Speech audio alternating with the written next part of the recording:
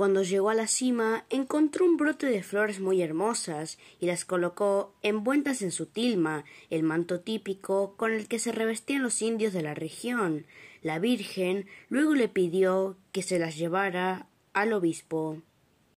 Estando frente al prelado, el santo abrió su tilma y dejó caer las flores, pero inesperadamente, al caer, éstas dejaron expuesta sobre el tejido una imagen de Nuestra Señora, la Virgen de Guadalupe. Desde ese momento, aquella prodigiosa imagen se convertiría en el corazón espiritual de la Iglesia en México y en una de las mayores devociones marianas del mundo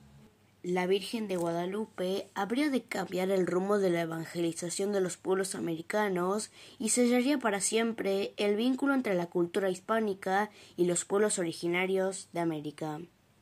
Con la autorización del obispo, el templo consagrado a la Virgen de Guadalupe